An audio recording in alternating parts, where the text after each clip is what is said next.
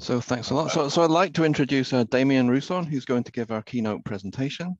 Uh, you know, he, he's worked at various places, including the, the Naval Research Lab, Sandia National Lab, Stanford University, where I think he was one of the founders of the, of the Sourcery Institute, which was a Californian nonprofit organization. And one of the projects that that group did was the OpenCoarrays project, which was where I think I first communicated with him.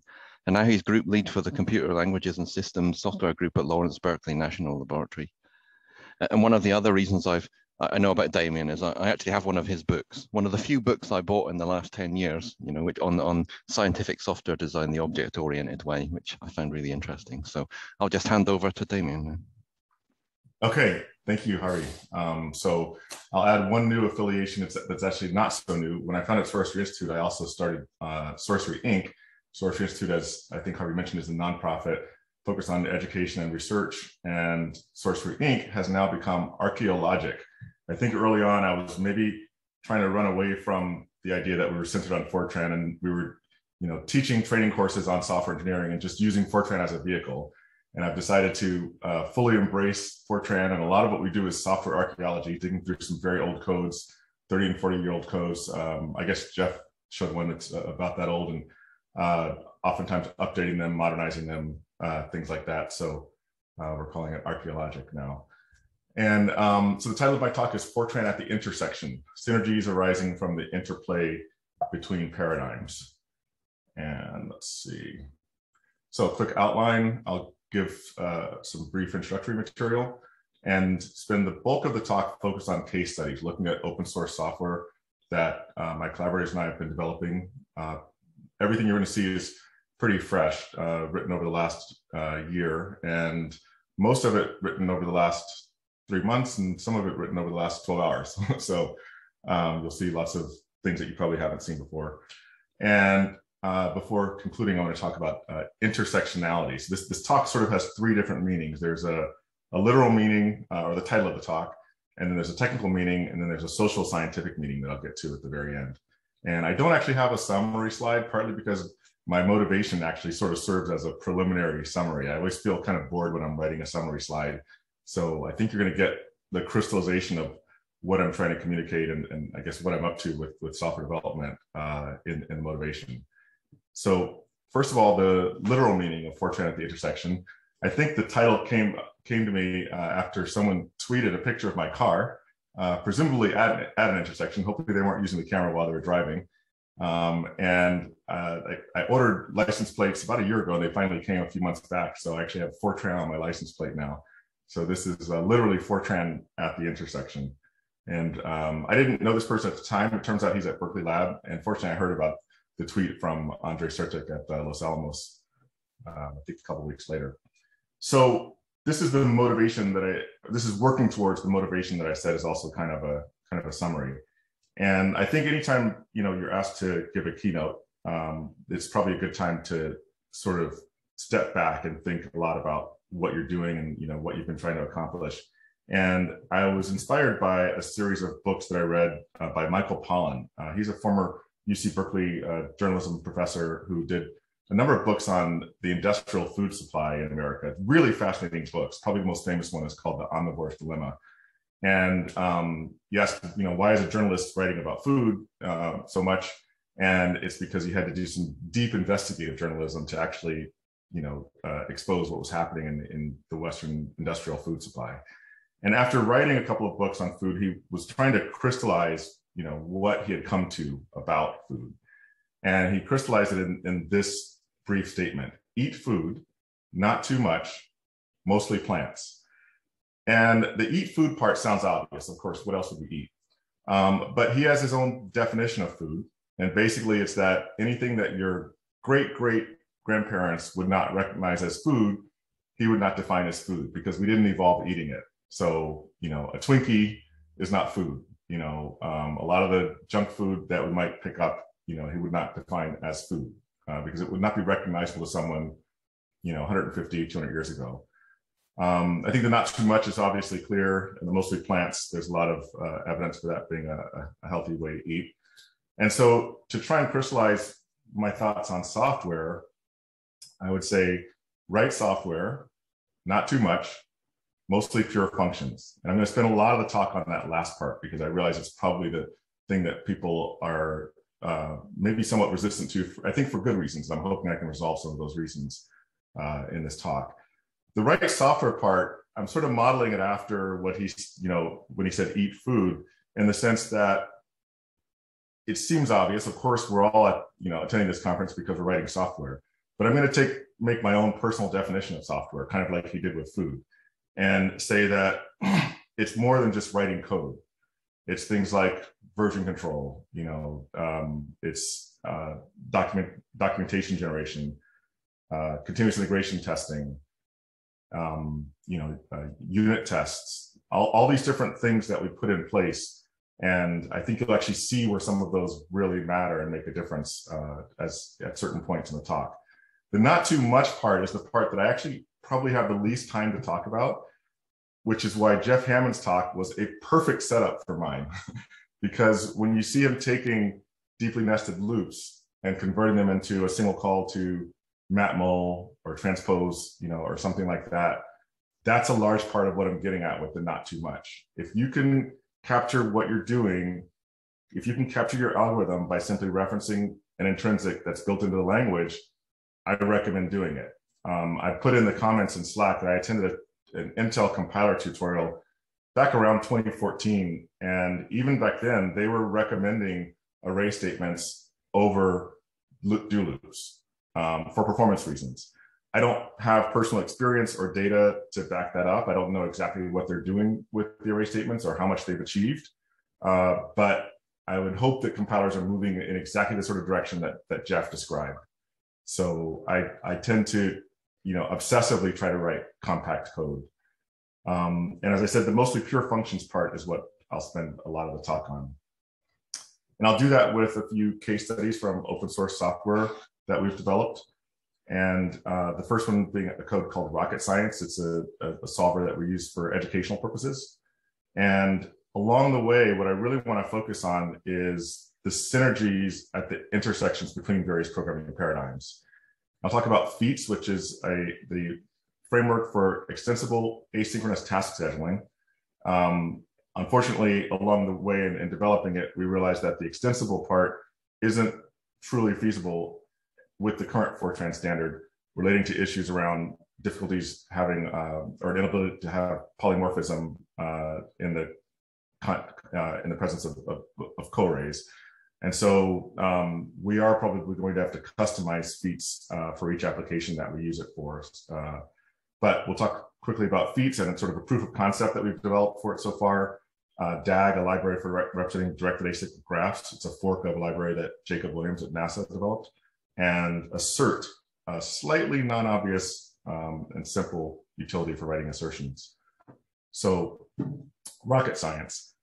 Um, the, this, the genesis of, of this code was that we have a client who's working on, uh, it's at a client at a company and they have a proprietary, proprietary application that, you know, we won't discuss in any, in any detail, but we they wanted us to teach a training course. Uh, Brad Richardson and I taught it, and something that I have found useful over time is to ask a client to write a small proxy application that captures an algorithm that plays an important role in their actual production application.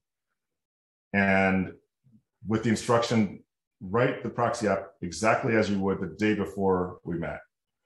So the result of that, um, many times since you know a lot of code out there is still Fortran 90, and in fact, even a lot of the Fortran 90 isn't leveraging very much of Fortran 90. For example, derived types were in Fortran 90.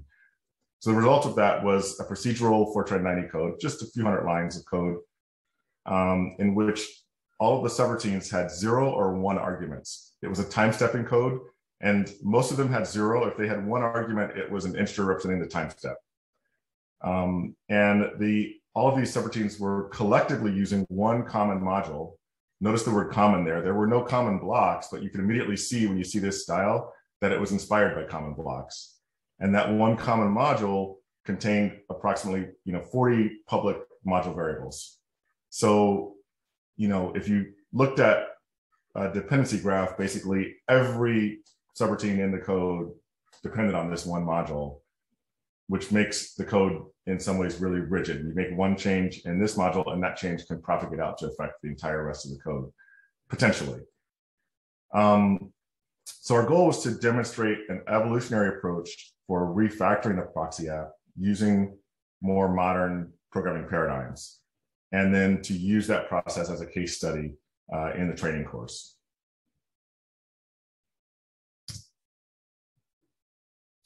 So the programming paradigms that I'll cover um, include functional programming, um, object-oriented programming, parallel programming, and programming by contract. There's a good amount in the literature about object-oriented and parallel programming in modern Fortran, so I'll probably assume some level of familiarity with those uh, uh, for purposes of this talk. There's not as much talk about functional programming or programming by contract. And, but it is often the case that um, even before a language has a lot of support for a particular paradigm, or let's say a, a lot of explicit support designed to support a specific programming paradigm, there are patterns that can be developed for using that paradigm. So for example, in the 90s, what was very influential on my work was a series of papers that came out about emulating object-oriented programming in Fortran 90 um, before the language actually became fully object-oriented with inheritance and type extension and what have you. Um, so, you know, what is a pattern in one language might be a feature in another language, and including a future version of the same language you're talking about, um, which also then means that patterns can be strong candidates for, for future inclusion in the language. And without going into any detail, I'll simply note that some of what I say about programming by contract actually resembles some of what we're talking about for future generic programming features uh, in Fortran. Okay, so a functional programming pattern. And the pattern is to write pure functions, including elemental functions. And I'll, since I said I won't have much time to talk about the not too much part, the elemental is part of what I'm talking about. Oftentimes what you would do with a loop or with nested loops, if you can write an elemental function, you can do it in a single line, right? Um, associate names with expressions. And I wish I could remember who told me about this. It was at a Fortran committee meeting maybe three or four years ago. Um, someone mentioned that if you associate with an expression, then you get immutable state. And so that's maybe one of the things that I'm going to show you that I think is kind of the most unique in terms of co-opting that fact to support this pattern because it's not something I've seen uh, other people do or at least comment on uh, explicitly. And just to mention one subset of, ex of expressions is a function reference, okay? And, and then we want to construct whole objects with generic interfaces that serve as user-defined structure constructors. So what that means is no setters.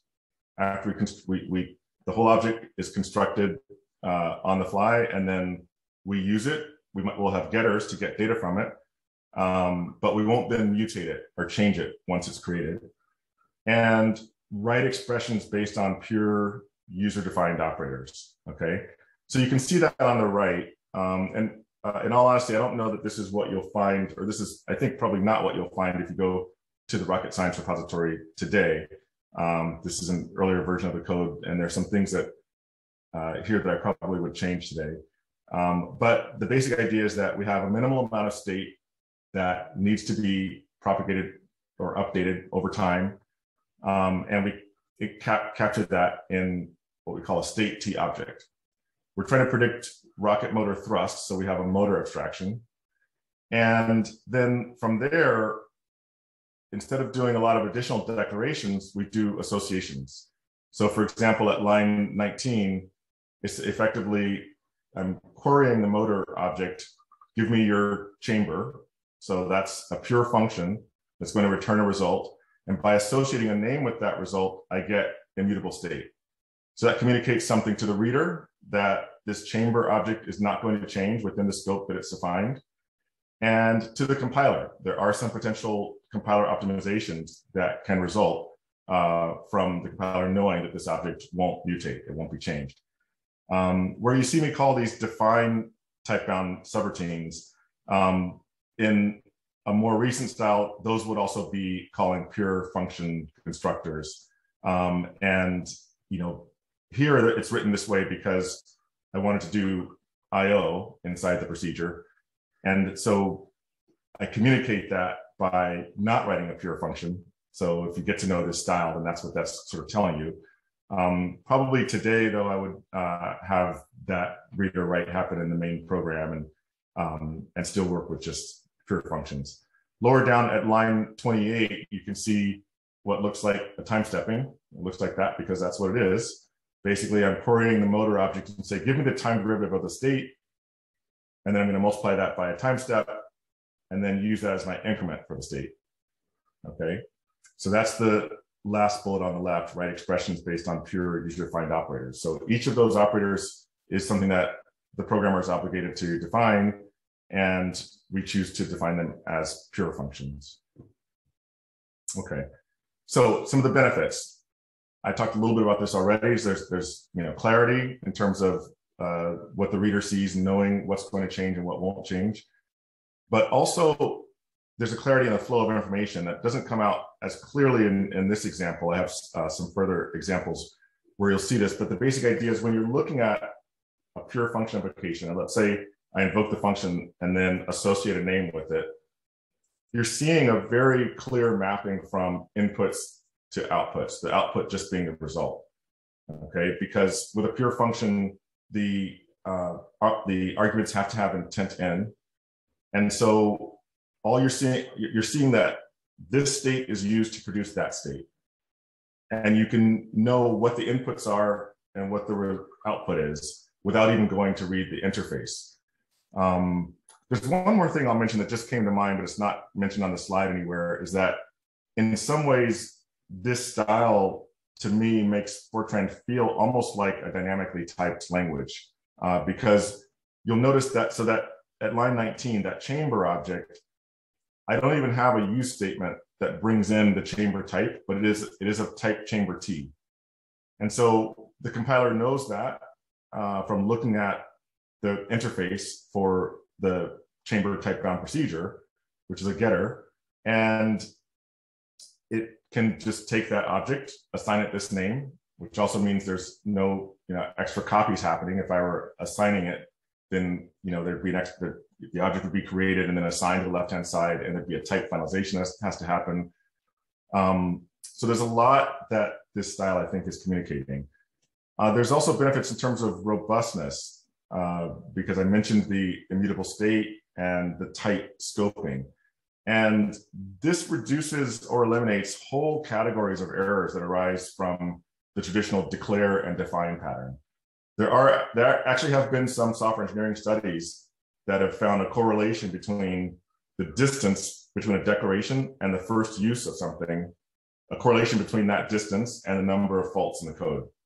Because you declare something as one type, maybe real, and you forget later, not realizing or realizing and treat it as you know complex or something else. Um, and so that kind of error uh, goes away when you don't have to declare and define.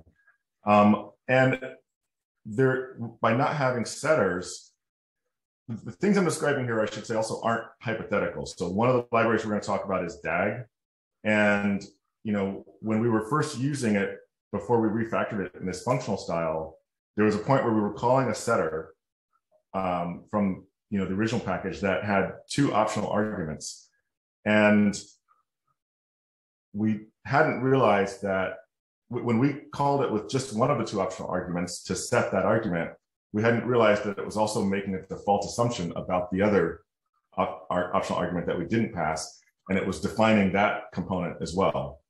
And so it takes some time to debug things, and now you've got, you've got to go and look at the implementation. That kind of mistake on our part couldn't happen with this style because we don't mutate our objects um, for the most part. So um, also means you can't use uninitialized data, right? Because as I said, with the chamber object at line 19, we don't declare and then later define, it comes into existence fully defined. What are the roadblocks though? Why haven't more people tried this kind of approach? What I commonly hear uh, around writing pure procedures is functions can only have one result. What if I want two? Um, producing output for debugging is cumbersome at best. And in fact, most output is prohibited. I'm going to show one way around that. And also, if copies replace mutations, then memory could be used inefficiently. So what we're trying to do is go after each of these. I talked about how the fact that we're doing association means there's not a copy. Um, and I want to talk uh, about how we resolve the other two bullets next. So first, let me outline you know, what we came up with to go from software archaeology, as they say, to modern uh, programming paradigms. So we took the code and set up a Git repository. Um, we established a reference implementation. This is an idea that I got from Brad Richardson, where we took the original main program for the code and made it a function so that we can get a result from it and use that to test uh, our refactored version of the code and test it at runtime by comparing the two results. Um, and we set up a test suite using vegetables, also, also developed by Brad Richardson. And uh, we defined GitHub actions, actions for automated CI testing, for generating and deploying Ford documentation. Um, those are the kinds of things I was talking about when I said write software. Uh, when we come to a new package and we're asked to modernize it or parallelize it or work with it in some way, we prefer not to even touch it without a test suite in place. Um, and so it's a really important part of our process.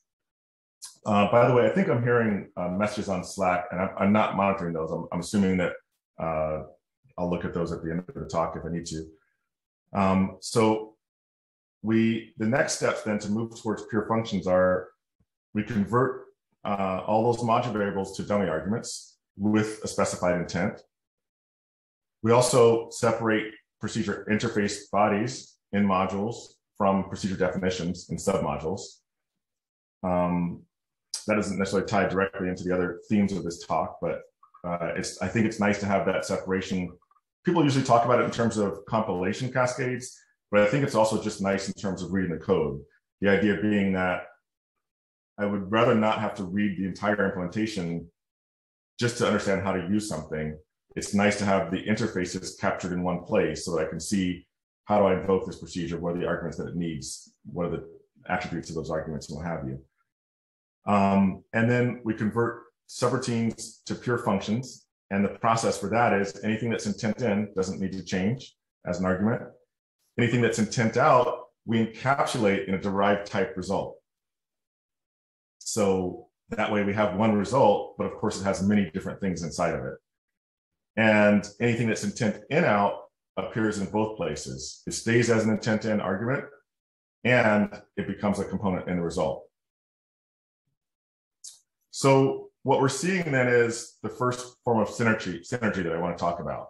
You know, what happens at the intersection between programming paradigms where one paradigm supports another. Effectively, and, and I'll say that in design patterns, patterns resolve tensions in a program design. So we've got a tension between wanting to have multiple results and only being allowed one. The pattern is to use an object, which is something that is, inspired by object-oriented programming. So what's really happening is that object-oriented programming here is coming in in service of a functional programming pattern, right? And it can be the case, maybe not always, that this leads to a natural encapsulation strategy if multiple values are being produced by a given procedure, that's a sign that those values are probably related and that they might be a good abstraction. So even though we sometimes define derived types in this ad hoc manner, it can sometimes lead to natural uh, definitions for the uh, for the derived types, natural choices for which derived types to define. So the next thing I'll talk about is feats uh, the task scheduling framework.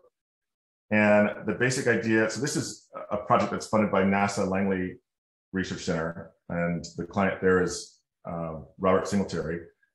And he's working on the, the online tool for assessment of radiation in space, OLTARIS. So you could use it to predict radiation exposure for spacecraft inhabitants. You could also use it, um, you know, with some assumptions to predict radiation exposure at the at a planetary surface as well. Um, so the idea here is to break your images up into teams, establish one scheduler image and one or more compute images. And then the schedulers post task assigned events to the, uh, to the compute images in an order that respects dependencies described in a DAG. And the compute images post ready for next task events to the scheduler. And there's a task payload map abstraction that maps task identifiers to task locations inside a co-array that is of type payload T and is named mailbox. So this is how we handle the, uh, the data communication. Um, and the chief difficulty that I mentioned earlier is that that co-array then can't be um, polymorphic. And so we are not able to write the framework in a way that is fully extensible. We had hoped to write it so that it could be used for any application. You could just extend the payload type. Um, possibly, yeah, I think uh, I think we'll end up having to customize it for uh, for each application. Other applications, uh, there at the National Center for Atmospheric Research, I'm working with a researcher, Ethan Gutmann, who wrote the Intermediate Complexity Atmospheric Research Model. It's a model for predicting the regional impacts of global climate change. So you take a global circulation model output as your input to a much finer uh, simulation for a given region. And there's a dynamic load balancing issue where it starts to rain in one part of your domain and that the so you might have divided your grid up perfectly evenly and it looks like it's nicely load balanced but now suddenly this one region is doing a lot more work because of the precipitation relative to some other region where where there's clear weather. And of course that changes over time. And so it's a challenging dynamic load balancing problem that i'm hoping we'll be able to solve with work sharing and work stealing where basically uh, one idea is each image further subdivides its data and uh, its, its work. And then the scheduler uh, for, for a given team uh, decides who does what work next with a priority system based on first who owns the data. But if that uh, image is, is occupied and not ready for a next task, then it could be handed off to another image that has the time to do the work. Um, we would like to also uh, think of the Fortran package manager, also first written by Brad Richardson. And now uh, this, by the way, is one of the things that makes me really excited about what's happening in the Fortran world today. You know, this was just released for the first time last year. And last time I checked, already had 18 contributors um, and was over 20,000 lines of code. And that's actually starting essentially from zero because Brad wrote it in Haskell. And then the community decided to rewrite it in Fortran, which is pretty radical, I think, writing a, writing a package manager in Fortran. Um, but it shows what happens when the tooling is actually written in the language of the users. I mean, it's just an amazing grassroots effort. So it's not something that we probably would have the time to do, at least not unfunded. We would like to maybe go after some funding for it, but you could imagine feats being used to enable parallel builds with FPM. Okay, this is a diagram from early in our thinking about this work, so it's not a perfect match to what we're currently doing, uh, but it's a UML sequence diagram. And sequence diagrams, uh, time uh, goes increases as you move down, and you know, but it's just showing the basic idea that you would have uh, various teams. You'd have a scheduler image on each team, compute images. Maybe there'd be an initial loop where the uh, scheduler would hand out one task uh, per image, and then after that, things could happen in random order. Basically, whoever's ready for the next task gets assigned one, um, and so forth. And so, uh, in a UML sequence diagram, I guess each diagram you see, the one on the left and the one on the right, those are both sequence diagrams. And in a sequence diagram, what's on the top are objects. So we actually have an image abstraction. And so an, Im an image derived type, image T. And so there, one of them is the scheduler image and one is the compute image. But those are actual objects that we're talking about here. Okay, so this is showing the module dependencies inside Feats itself. So we decided to, since we're thinking about FPM as one of the potential target applications, we decided as uh, an a proof of concept example to use the building of Feats as an example of what feats can do. So uh, currently what we're doing is we have a DAG that describes the dependencies and we have uh, you know, an object that contains that DAG. And we're not actually doing any compiling right now. We're just printing out, this is what I would compile if I, if I were compiling. um, and I'll show you what that looks like in a moment. So here's the DAG. Uh, the open circles are uh, root nodes, root vertices. And so submodules, uh, since we only ever have one submodule per module, there's nothing that can ever depend on our submodules. So those are all root nodes. Uh, the light yellow are leaf nodes. So those don't depend on anything else. Ideally, those would be a great place to start your compiling. Right now, with the kind of search, uh, kind of ordering we're doing on our DAG, um, it doesn't necessarily start with those. Um, and then the blue ones are, I guess, I'll just call them branches. They have things that depend on them and they depend on something else. So as you can see, it's the fair, oh, and the green ones are external dependencies. And this is something that the DAG library can write out for you. It's functionality that we inherited, but refactored from uh, Jacob Williams' version of uh, what he calls DAGlib, and we just call DAG. And so it can write out a dot file that you can use GraphViz to turn into a PDF. So let's say you're running our proof of concept with FPM. So you type FPM run, tell it you want to run the example that's in the example folder. This is me running it on my Mac. So I guess the Mac doesn't like MPI and it's making me uh, click a button to allow these various processes to communicate across the network. This is all happening in shared memory, of course. And we're seeing what tasks the scheduler is handing out to what image. And you know, what those images would be doing, compiling the DAG-M module, compiling the compile-M module, um, all these different parts of the DAG. And um, it gets all the way through to the last one, including uh, the main program. And then unfortunately, I hit an MPI error. This is, so I always say every problem is an opportunity. So this is an opportunity for me to extol the virtues of uh, you know, having a Git repository with issues because Brad was able to go and find that I myself had encountered this issue, or at least corresponded with someone about it two years ago. And fortunately, that saved me a ton of time trying to diagnose what was going on here. And I'm pretty certain that this is just a, something that's specific to OpenMPI. I don't know enough about MPI or any specific implementation to tell you why this problem happens with OpenMPI, but it only happens at the very end. Um, and all of the, everything on the DAG actually completes. And I'm fairly confident that if I just switch to MPICH, this will go away.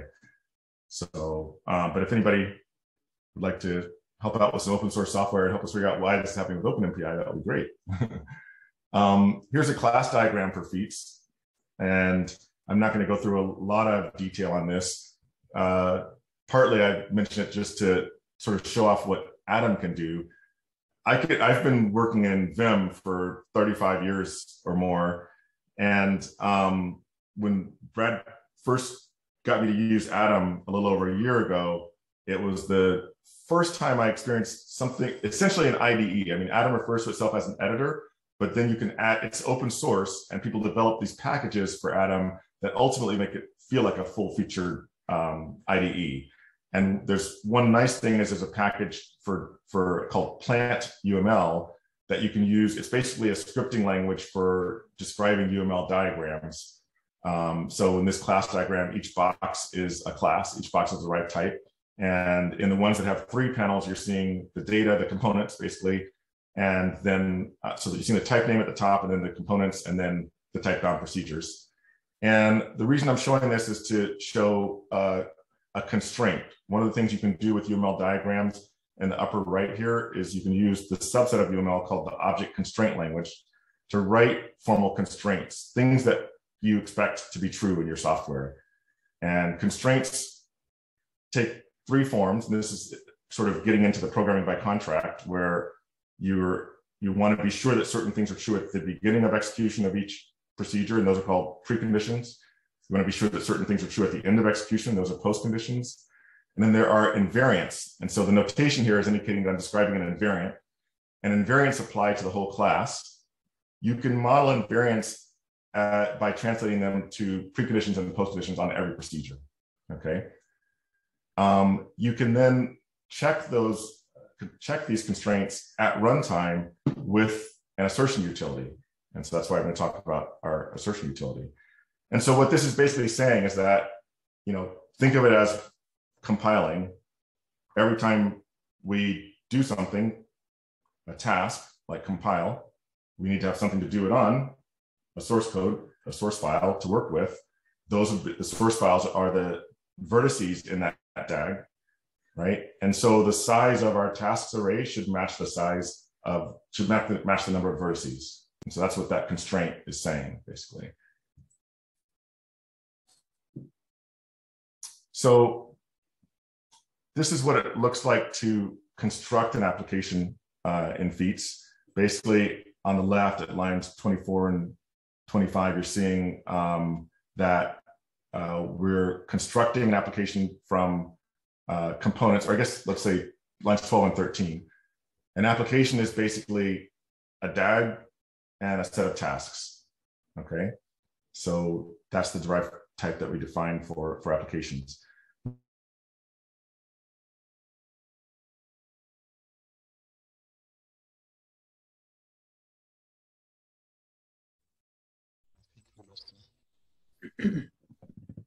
It seems we lost our keynote speaker. Let's just wait a bit until he reconnects. Reconnect. I, I can text him just in case he doesn't know. Uh, that might be that might be good. I'm, I'm already doing that. Okay, I won't then.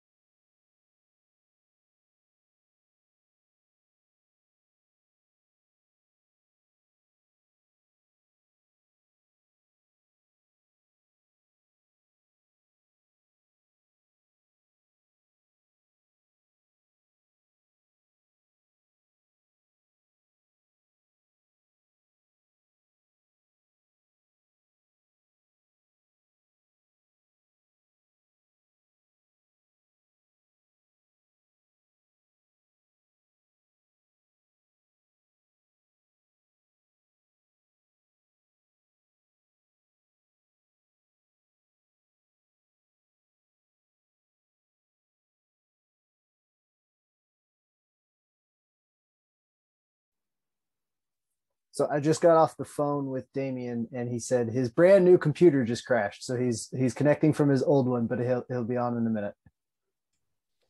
Great. Thanks a lot. Thanks. Uh, for the update.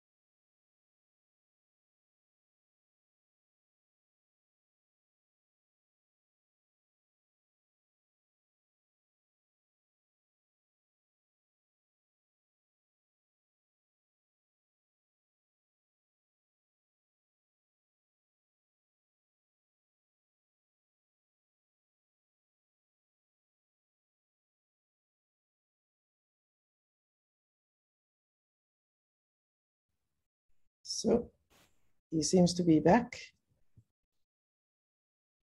Let's see.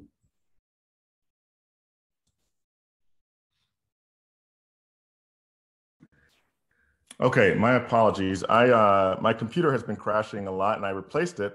So I'm actually present. I was actually presenting from a brand new computer that I just started using a few days ago, and now that one crashes. Uh, so I'm guessing it's a software issue and not a hardware issue. Um, so I've got about eight minutes left. I'll see what I can get through in that time, and my slides, of course, are online. Um, now I'm on my old computer. I don't know which is going to be safer because the new one, even when I got it to reboot, it crashed again. Um, so do you guys see my screen? Yes. Okay, so I will, since I'm on a different computer now, I will have to go to the conference website, I think, to uh, get the PDF of the talk. Um, yeah, that might be the easiest thing. Um, could somebody post a link to, let's see, where's, the easiest is fortrancon.org. Um, what's that? Fortrancon.org. This would be for the page, and now I'm looking for even have the the slide. On presentation. Other computer, have it on slide.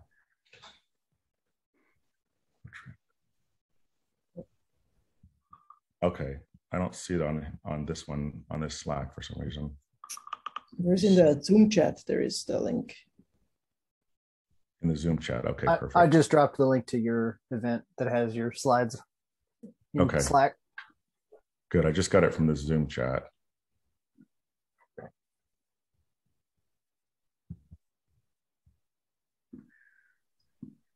And then the attachment symbol to the right uh, on your slot. Okay, There's the there we go.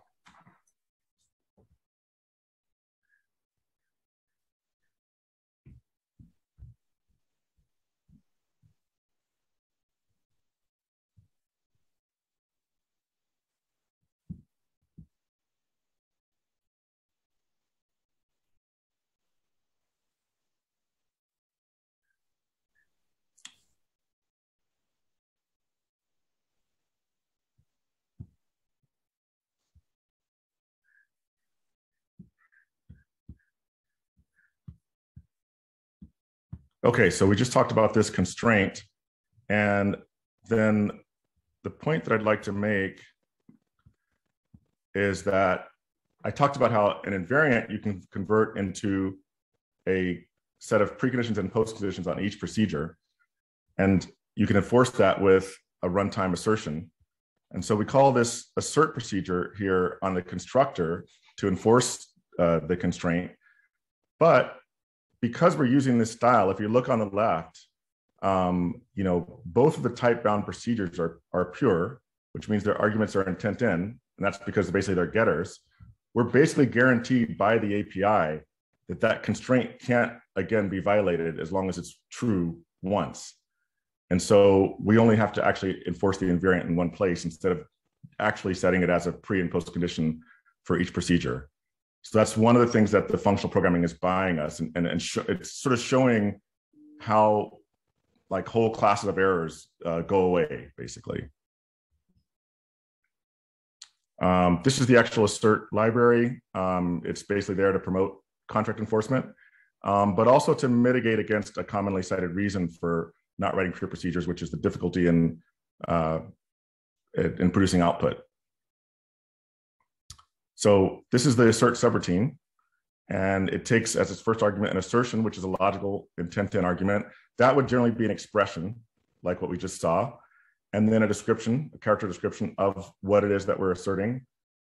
And then the part that gets us to uh, kind of a more full-featured output facility is the th third optional argument, where you can put in some diagnostic data. And notice that that argument is unlimited polymorphic. So you could basically pass in anything. Um, and internally, then what we do is actually it's, I think in one version of this also it's unlimited polymorphic and assumed rank. Um, No, we use the we use the uh, polymorphism to get around the need for assumed rank. So you can basically pass in you know anything, and then we have ways of handling it inside. If it's intrinsic, we know what to do. If it's not intrinsic, then we provide an abstract type that has a deferred binding that converts that gives output that's a character variable. And we have an example where you could pass in, we have a, a type that we call intrinsic array T.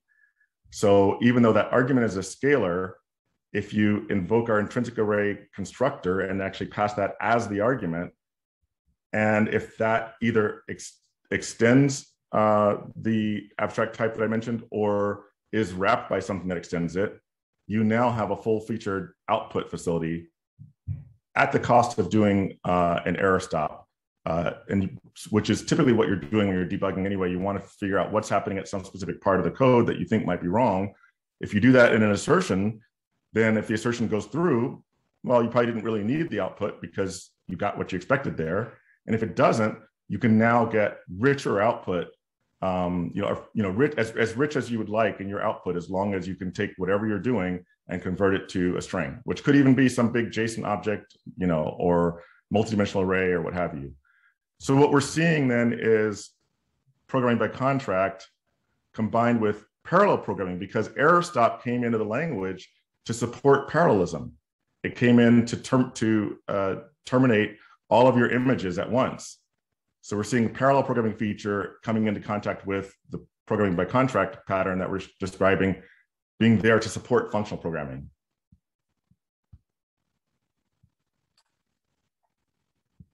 Okay, um, so I think I'll skip over this in the interest of time. And we, we didn't talk about it in any detail. Well, we did talk about the events that get posted in feats. Okay, one of the things I'll mention is that, you know, if you look at the Metcalf, Reid, and Cohen book for Fortran 2008, the atomic subroutines were all in a deprecated features appendix. Um, I think that was primarily because the atomic subroutine feature set was too limited at that point, and now the atomics, most of them are not in a deprecated uh, features appendix.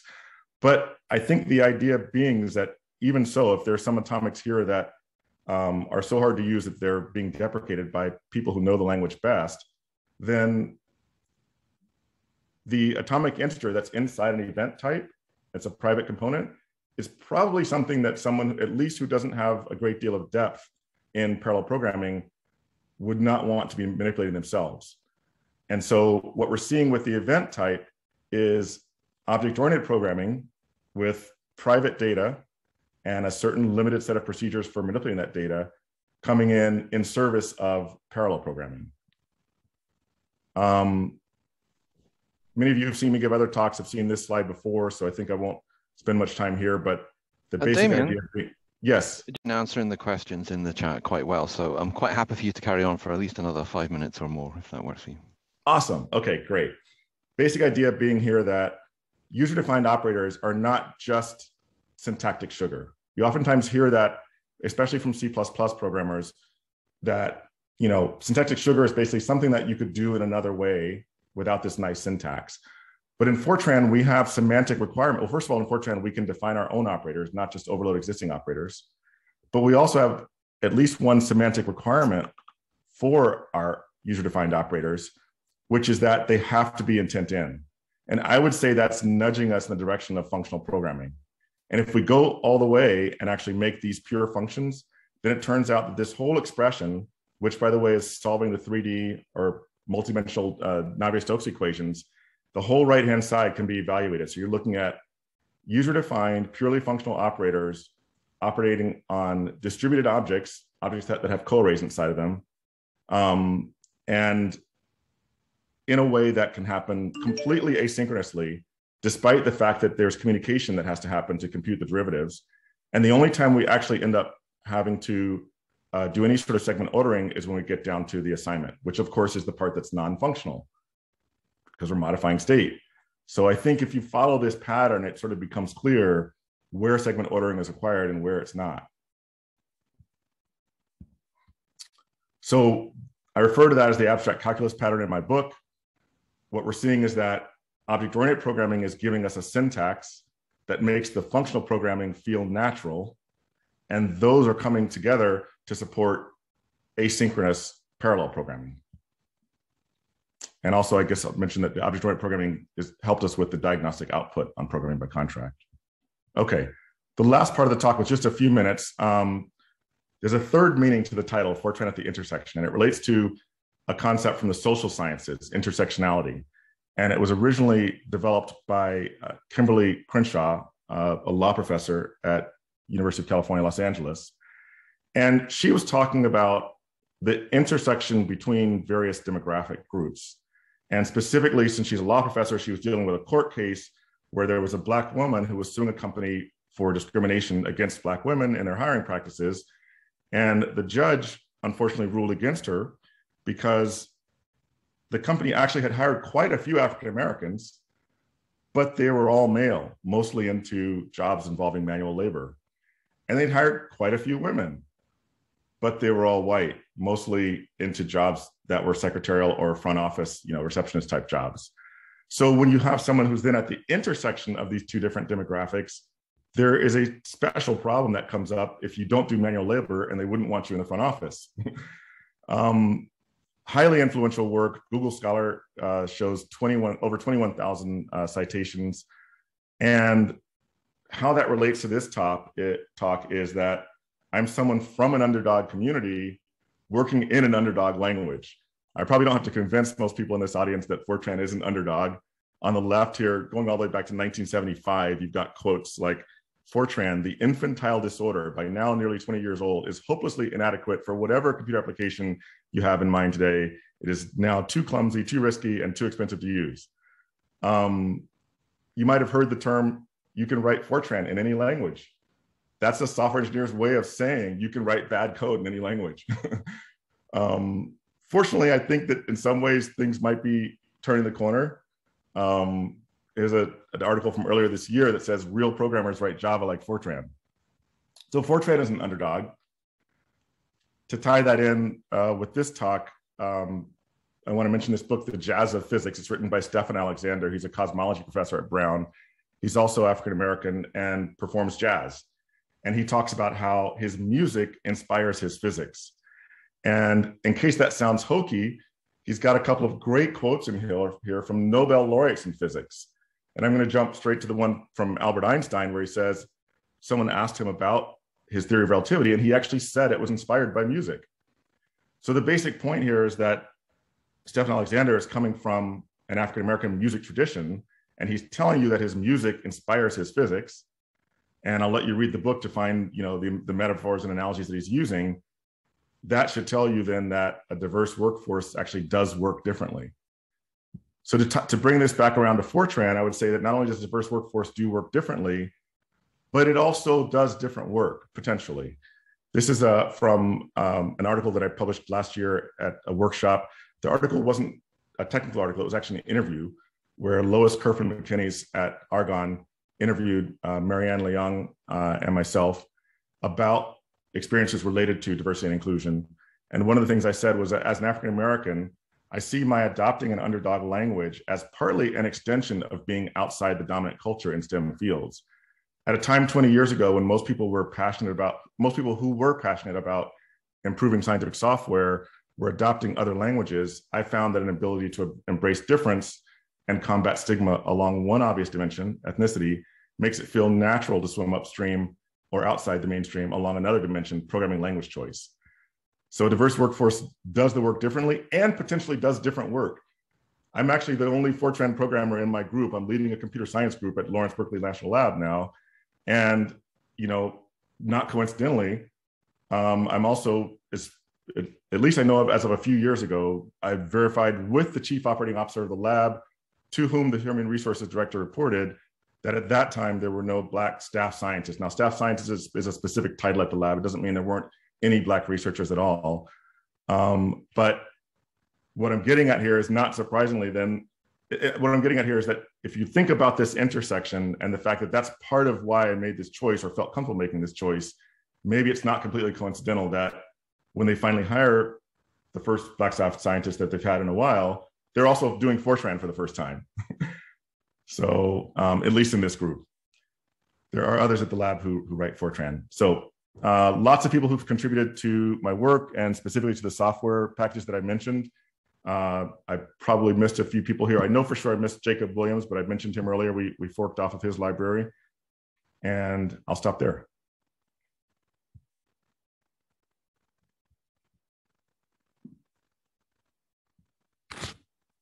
Okay, well, thanks very much. Very interesting talk. So I think, as I said, the the um, the chat has been, I think, amply answered. So I think what I'll do is I'll just open it up. If if anyone audibly wants to ask a, question or two at this point, then we can maybe get a couple of questions in uh, before we close this session.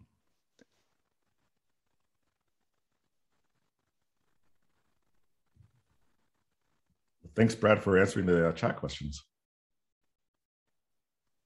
And if No you look problem. at those packages that I talked about, um, I'd say specifically if you look at DAG, you'll see a completely functional interface where every procedure is a function with intent in arguments.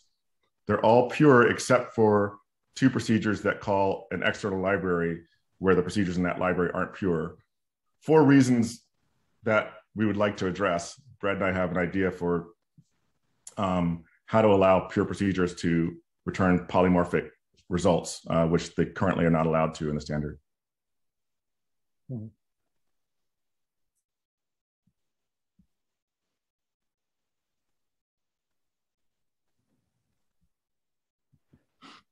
I mean, one of the questions is why why didn't you use something like Dask? I mean, I think you already said there was an advantage to using, you know, a completely Fortran ecosystem.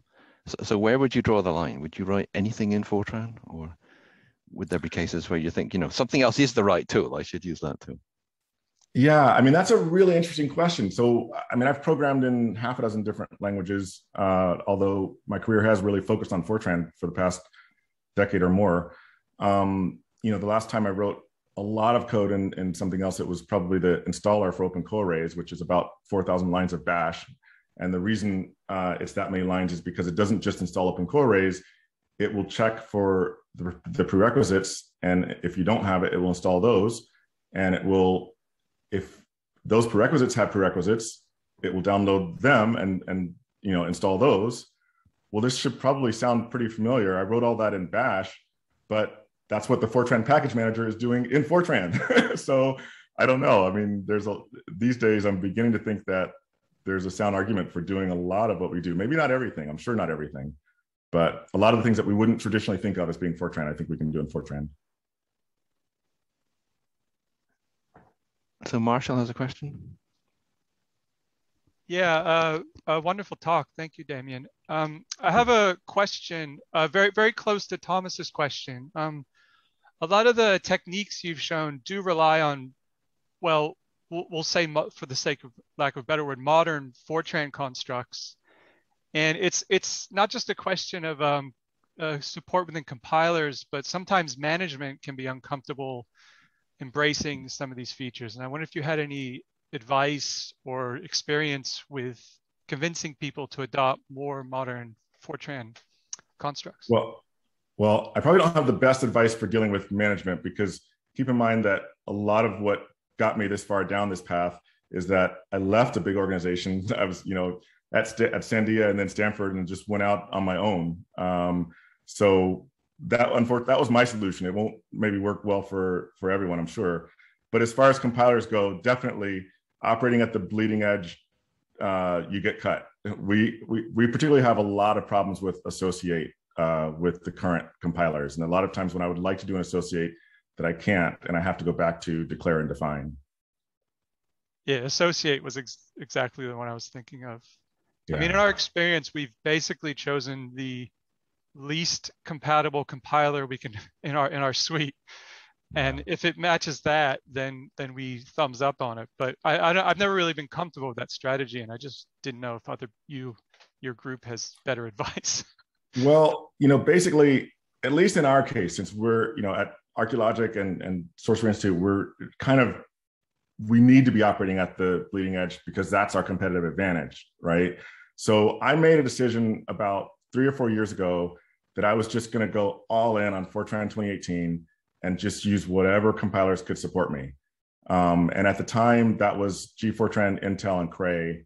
Um, and now we can add NAG as of about a year and a half ago has essentially everything I want. If there's if it's not there, I can replace it relatively easily, like collective subroutines. Um, so I've seen a lot of organizations do that. And when I've gone down the path of trying to design to the lowest common denominator or lowest common subset of supported features, you end up almost all the way back at Fortran 90. And I just I just couldn't do it. I could I'd rather narrow my set of compilers than, you know, and, and I'd rather engage with the compiler teams. You've got to submit bug reports. You've got to submit very small bug reports, trim out all the fat you can possibly trim out. The compiler developer, maybe Bill Long can help me with this one. I've always imagined that if you look at the job description for a compiler developer, there's nowhere in it that it says understand Damian's problem. The job description says fix bugs. So that person's going to fix the bug a lot faster if I give them a tiny piece of code that's like shining a laser on the bug than if I give them a bunch of code that tries to explain everything I'm trying to do. Do you agree with that, Bill? Bill usually lurks and hides Yes. in these things. Yes, I agree. I, Yeah. I, I will I will say that uh, Brian Friesen at NERSC does a very good job of writing reduced test cases, and it's much appreciated. And it does get your job your bug fixed quicker if it's comprehensible. Okay, so so thanks very much again. Very interesting talk. I think we, we'll have to move on, and it was unfortunate we had that hiccup in, in the middle. But uh, if you could have a quick look and see if you know there are any unanswered questions in the Slack. But I, th I think we were quite well covered. So th thanks again.